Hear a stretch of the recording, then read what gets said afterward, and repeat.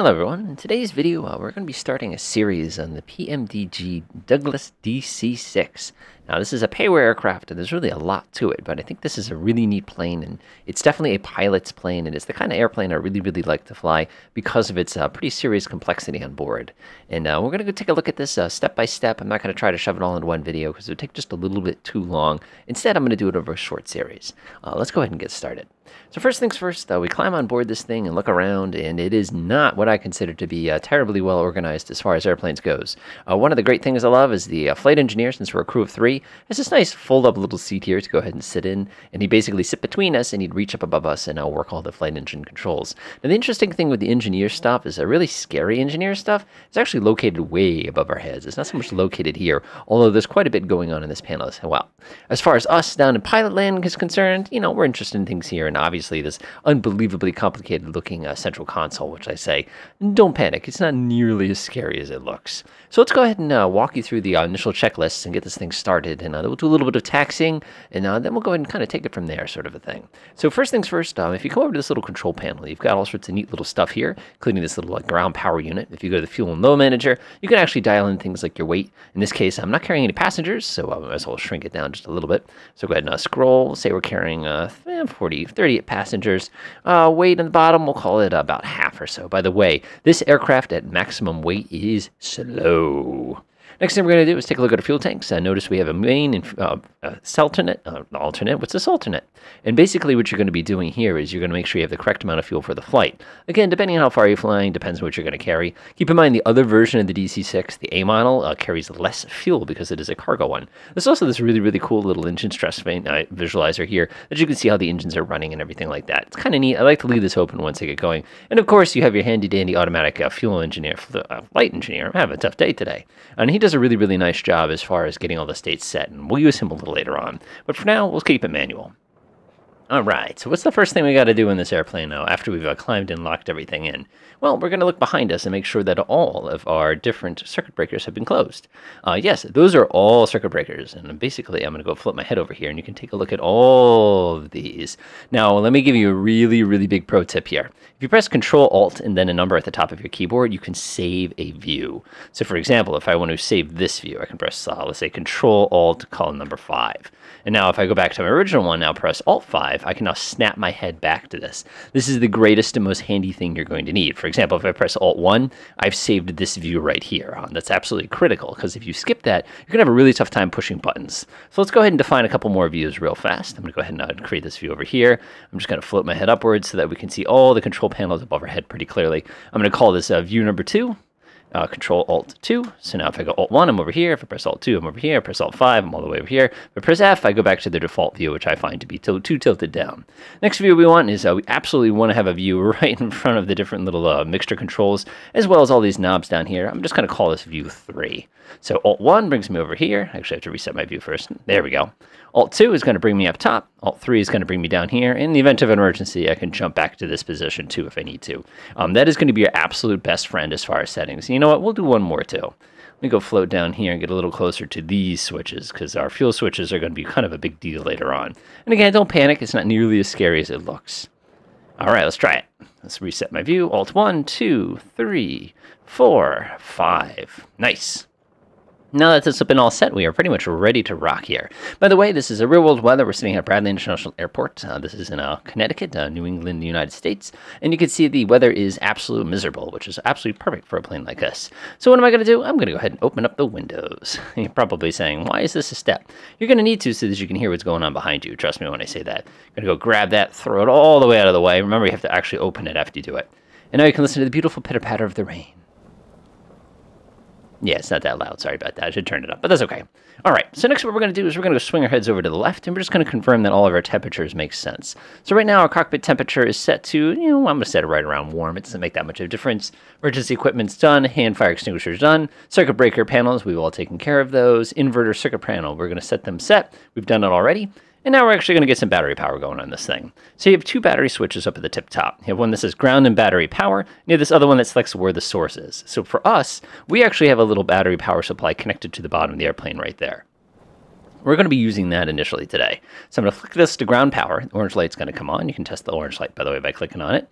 And I'm going to click this switch I love that. Those are just fun to play with. And now you can see that we have electrical power in that it is connected. As soon as you do that, some of your switches are going to come on, some of your lights are going to come on. A lot of things will not because the inverters on here are basically going to be kept separate from everything else that you're going to see here. Notice you get a big angry instrument power failure and everything along those lines. Don't panic, it's nothing bad. All right, so now we're just going to make our way kind of down. So after we take care of that, we're to go flip on the little switches up top. We're going to say, please don't smoke on my plane. We're to go ahead and uh, turn on the safety belt. Because it's so nasty, we're to turn our position lights. We'll be starting shortly, and we'll go ahead and hit the beacon light right now so that it's all ready to go. All right, so our next step is going to be to go ahead and set the cowl flaps, which are basically our method of cooling. We're going to go ahead and snap these all the way open. I'm just wheeling my mouse to do it a little bit quicker. And again, these are electric cowl flaps. They're not like the old style ones, but if you look really carefully on the side, they're actually slowly opening up. Uh, we want to leave this open when we're down here on the ground. So now what we're going to do is we're going to confirm that our fuel booster pumps are off. Notice how many of them we are, have, and they're very important. Uh, we're also going to go down to the cooling turbine switch and make sure that is all set. Obviously, I'm looking right now. It looks pretty good to me. That's the switch right here. We want to make sure that one's fine. Uh, we're going to set our inverter switches to on. Now, this is a cool trick. Watch this. You can actually rock that thing to snap them on. Again, I'm not sure why you want to do that, but you could. And now we're going to go ahead and snap on the engine instrument inverter, and now we're good to go. Auxiliary blower, blower should be in the off position, which it is. We're going to make sure our heater's fuel switch, which is right over here, and we're going to double check to make sure these are all down. And then we're going to go ahead and turn on the cabin heater master, which is what that switch right there is. Uh, we're not going to need the airfoil one until a little bit later on. Let's see here. System number one, just confirming everything looks good. Uh, cabin heater master switch, good. Uh, propeller de-ice, carburetors off, anti-icing fluid, hydraulic quality, uh, quantity. We're going to make sure that all looks pretty good right here. Looks good, looks good. And it looks like we're a little on water, so uh, we're going to have to go ahead and request some of that. So we'll go down to maintenance. We'll go ahead and ask them to top up. Nice. Looks good. Looks good. All right. So now that that's been topped up, we're going to go ahead and take a look at everything else here. We're going to make sure our landing light switches are retracted and off, which they are. We're going to go double check to make sure our fuel quantity is good. It is or oil quantity. You go through oil fast in this thing, by the way. You actually find that interesting. Looks good. Supercharger's low. Altimeter, we're going to go set that correctly. But by altimeter, we're actually going to be setting our cabin altimeter, which is this one over here. And um, it's been set correctly. Actually, I'm sorry, the switch right here. But it's not operable. No, not going to worry about it. We're going to go double check to make sure all of our warning lights are off. In this case, uh, the warning lights that we were worried about are off. I'm going to look above my head, check them real fast. All right, looks good to me. We're going to go double check to make sure our fire extinguishers, discharger valves are all set correctly. Looks good to me. Uh, we're going to go ahead and check out some fire detector system warning lights. Woohoo, this is fun.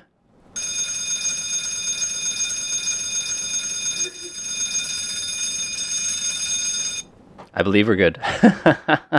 Windshield heat control as desired. It's pretty warm outside. That being said, I'm going to go ahead and leave it off because it's above 10 degrees. We will need it a little later. We're going to want to go ahead and set our clocks and our altimeters. Our altimeter's already been set. Our clock has been set. A couple different modes on this clock. You can actually uh, click the button and switch between different modes if you needed to. I think that's kind of a nice little feature.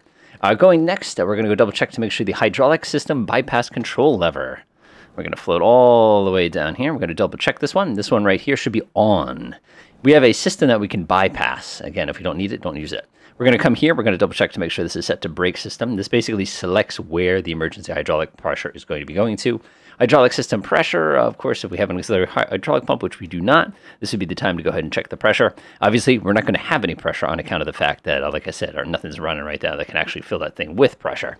So that's all set. Uh, we're going to go ahead and take our fuel tank controls, and we're going to make sure they're set to the forward position. Ah, so let's go snap those all to forward. We're going to make sure crossfeed is off, which looks pretty good over on this side. Propeller master control. Let's see here. We're going to make sure that's set to auto. Uh, we can go ahead and click this. Oh, reverse mode. Don't do that. So we can double check. We can play with the propeller control. I actually have a separate switch on my thing for it if I need to play with it. Everything's looking good. I just want to confirm that it's all automatic. We have a resynchronize button if we need it. Don't worry about it too, too much. Uh, autopilot should be off. So uh, looking down here, we actually have two different parts of our autopilot we need to worry about. The First one's going to be up top. I'm going to check that switch. Good. And the other one's going to be down here on the floor. But wait, we have a button for that. So we can actually confirm down here that that switch is indeed off. Again, you're going to want to bind those buttons not to make yourself insane here. Uh, trim tabs get set. I'm not going to worry about it. Carburetor air temperature controls. That's these three. We're going to make sure, are four, I should say. We're going to make sure those are set properly, which they are. Uh, we're going to set the wing flap lever all the way up. We're going to go check that. I believe it is up. Now, this is when you go ahead and uh, check the mechanics interphone. So we go boop and push a button, give them a call just to say, hey, we're about to start these engines. Woo! How's that for uh, doing it before we even started anything kind of a checklist? Man, this thing gets involved. Okay, so now that that's all set, it's time to actually get this uh, bucket going here. So starting this one is, um, eh, let's say there's a little bit of magic involved. But uh, one thing you remember, if, uh, if for some reason engine does not start, you have to wait 30 seconds before the next start. But the procedure is actually pretty straightforward. I just want to confirm that everything is where it is. Nope. Missed the generators. I'm Sorry about that. Let's see, we're going to set our start selector to engine number three. I always feel bad for this engine because it gets all the use. We're going to go ahead and set our throttles about a quarter, not quite a quarter, a quarter of an inch. That looks pretty good. Actually, it's a little more than that. So we're going to set that one so it looks pretty good. We're going to make sure our start selector is good. Our fuel pump, uh, this is uh, kind of interesting. Uh, this is uh, going to be multiple different types of fuel pump. Basically, in order to get this thing cranking, actually you just crank out the starter. In order to actually get the fuel into it to actually start doing something, you have to build up a little bit of boost pressure on it. So I'm going to come over to the main fuel pump. I'm going to go ahead and slap that to low mode. We can confirm that's working because I can look over here and you can see now I have instant fuel pressure inside that particular engine. Remember, until we actually let fuel into it, nothing bad's going to happen. So now what we're going to do is we're going to go ahead and crank this. So the way this works is pretty straightforward. This one's the safety button. This one is the cranking button. This one floods it with sparks, and this one floods it with fuel. So obviously you got to make sure you pick the right one at the right time. So what we're going to do is we're going to crank these together until he says the number three. And then when you hear the number nine, we're going to slap the magnetos on like this. Then we're going to flip on the ignition boost, which is going to be this switch. We're going to flip on the prime switch. And the moment you hear the engine go, blah, blah, blah, we're going to do as fast as we can to go ahead and start this thing. So as you can see, it's, it's a bit of a process and requires a lot of fingers. All right, I'm going to turn him up a little bit so I can hear him, and let's do it.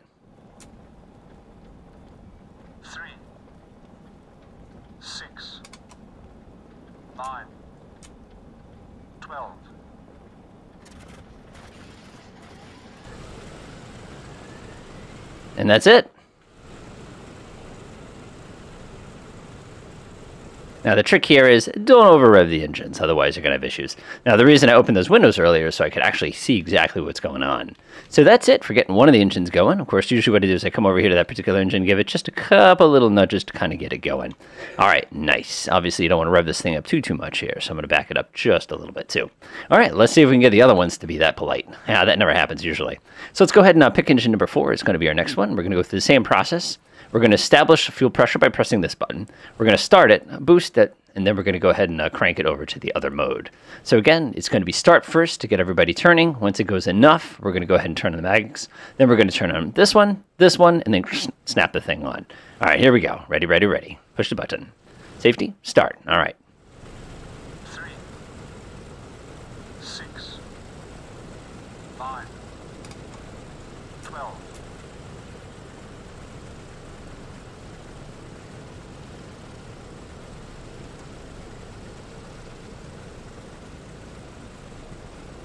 And it did not catch. so now when uh, this occurs to you, uh, don't panic too, too much. It's going to happen to you about a million times. Don't sweat. Uh, basically, now we have to wait 30 seconds, and then we can test that engine for another time. Now, what you probably have noticed is I turned on the wrong magneto. Newbie mistake. I know you're all yelling at me. It's all right. Okay, let's try it again. It's been 30 seconds. So we're going to start.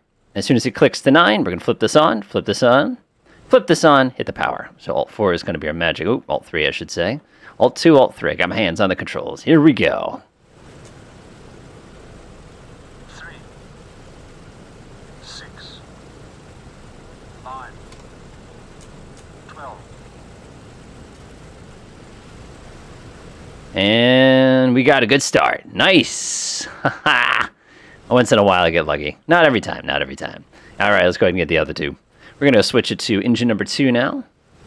Uh, yep, two. I can't believe I did that out of over. Ah, sigh. You can shut these two switches off. You don't need them right now.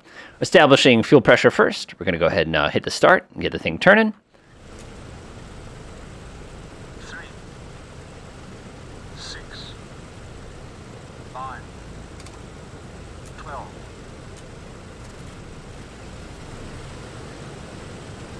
Nice. Hey, hey.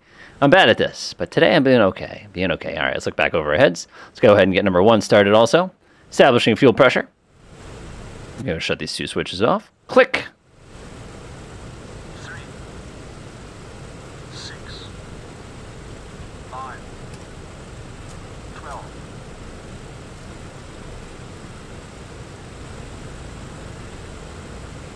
And we are lit. Excellent. All right, now that we got that going, we can go switch over to plain battery because uh, that's all set. We can also close these uh, noisy windows so that we can actually hear ourselves again. Don't forget to close it and then latch it. Don't latch it when it's open. Let's go ahead and slap this thing closed. That looks pretty good. And stick that one on. Come on. You're going to do it.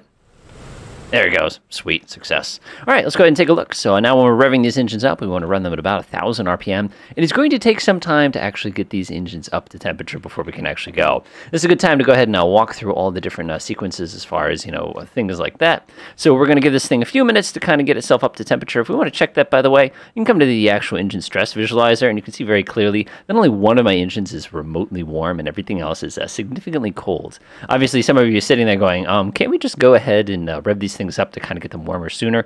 Uh, you could, and if you have separate throttles like some folks do, you're certainly welcome to sit here and manipulate them manually. Unfortunately, the way it's programmed is I can't actually move one of these as long as my throttle is being touched. Uh, that's either some kind of noise in the throttle or something along those lines. It's just one of those tricky, annoying things that you just kind of kind of have to put up with as this thing warms up. So basically, what are we waiting for? So uh, first things first, we need to make sure cylinder head temperature gets to at least 150. We need to make sure that our carburetor air temperatures, are, again, we can play with these a little bit to try to get them a little bit warmer. We'll do that in a second. And obviously, oil temperature and oil pressures have to be good.